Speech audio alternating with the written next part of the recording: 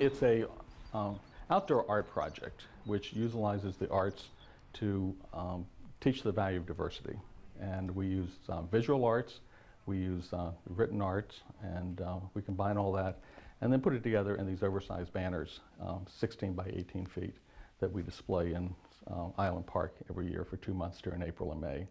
And the whole purpose um, of the organization, their mission, is to, as I said, use the arts to, uh, to tell the community uh, of the value of diversity, the importance of uh, standing up against hatred and prejudice, and uh, promoting unity within the community. We originally started out as being, uh, you know, very, I think, Pollyannish and thinking that we could change the world.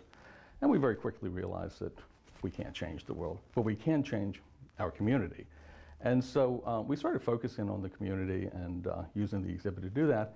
And the more we got into that, we really began to realize that the real opportunity is changing the way that kids think and the way that they interact. You never know. She might have cat ears, she might not. Does it matter?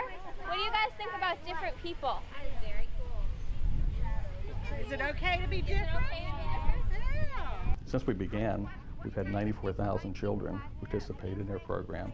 Uh, last year alone, we had just shy of 20,000 kids. A bully is when somebody hurts the other person. Uh, we provide free buses to bring the children in. We provide uh, everything that a teacher needs. It's really a turnkey operation. We give them um, lesson plans that are created in partnership with the school district. Uh, we have a workshop every year. Martin Luther King Jr., that is right we start off with our differences and our similarities, and then we look at how we can condense language because you need to say a lot with just a few words. And if you think about it, it's words that often create the gap between people, but it is only through words that the gap is closed. And so the power lies in your choice of words. And so we look at um, the power of words, which is an ongoing concept in our class anyway. And then we look at how we see, and as, excuse me, Lena's um, quotes suggest, we see not only with our eyes, but with our heart. My quote is, not to see with the heart is equivalent to blindness. I was thinking about the people that I know that I think embrace differences in the world, and um, my friend Becky inspired me to write it because I think, I mean, I see her constantly trying to, I mean, teaching that to her own kids and doing it. Like at the playgrounds to swing with whoever, whoever is on the swing or whoever is on the opposite side of the seesaw. Um, and not to judge people by how they appear. And then the name of the painting is Though Different, the Sun Illuminates Us All Equally.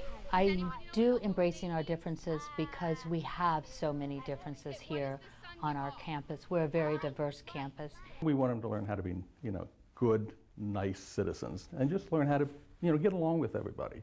You know, we don't teach that, you know, that you have to accept other people's beliefs. We don't teach that, you know, we don't want them to change what their beliefs are. But what we want them to do is be respectful of other people. Okay? Um, and then the other thing that we really want them to learn is um, we want them to learn how to be what we call upstanders. Not, not a bystander, but upstanders. Um, there's, there's all kinds of studies about bullying, for example. And most people don't think of bullying as being a diversity issue. But when you really get down to the core of it, it is. It's about you know, one kid or one group of kids looking at another kid as being different. I think that it would be easier to interact with people in general if people could put that aside mm -hmm. and just see people for who they are.